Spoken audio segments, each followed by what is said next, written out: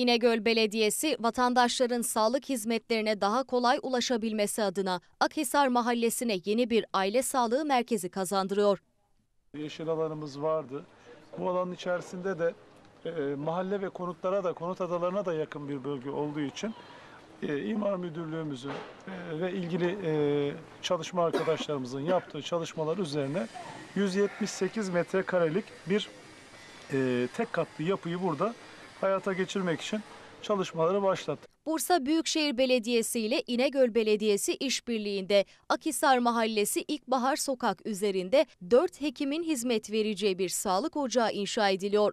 3 milyon liralık yatırımın tamamlanmasıyla bölgede 1000 metrekarelik yeşil alan içerisine yanında çocuk oyun alanı ve otoparkı da bulunan bir sağlık tesisi hayata geçmiş olacak. Hiç asansörlü bir yapı değil. Kolayca erişim sağlayabildikleri, içerisinde 4 tane hekimin yer aldığı, 1000 metrekarelik bir yeşil alan var burada. Rahatlıkla burada vatandaşımızın eriştiği, parklandığı güzel bir mekan olacak.